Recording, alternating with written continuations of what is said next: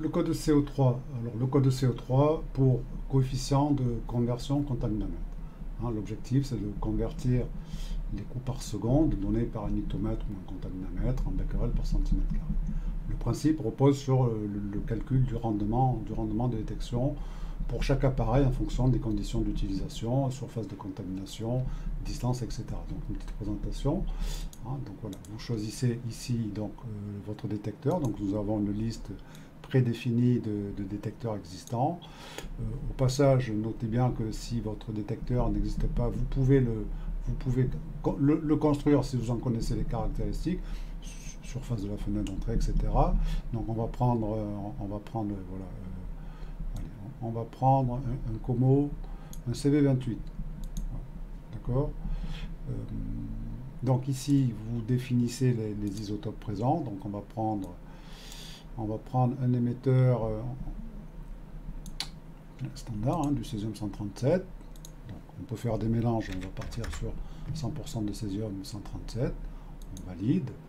Euh, on peut prendre, dans les cas de filiation, on peut prendre euh, en compte ou pas le, les filiations, donc ici on ne les prend pas en compte.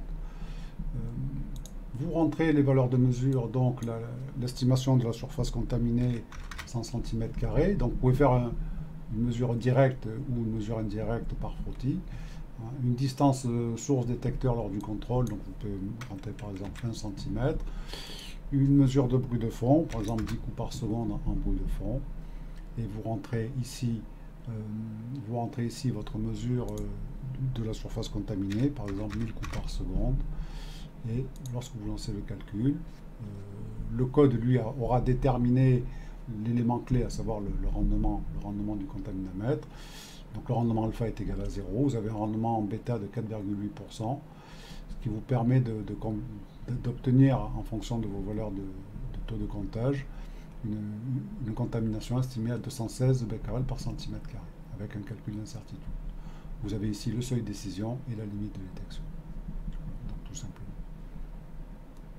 Alors comme je vous le disais, vous pouvez euh, définir un nouveau détecteur pour cela, il faut rentrer les seuils de discrimination alpha-bêta, l'énergie seuil initiale hein, à bas niveau, vous rentrez le nom du détecteur, euh, la fenêtre d'entrée, donc la, nature, hein, millar, mica, etc.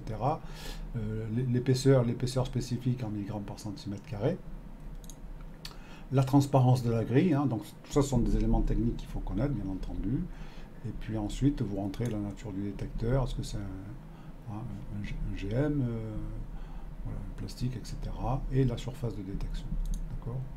Donc euh, lorsque vous avez rentré les caractéristiques du détecteur, vous le retrouverez, euh, vous le retrouverez dans, la liste des, détecteurs utilisables pour refaire des calculs du même type. Et de la même façon, vous pouvez éventuellement rentrer d'autres radionuclides qui n'existeraient pas dans la base de données, émetteur alpha, euh, émetteur alpha ou émetteur bêta. Voilà. voilà pour cette utilitaire.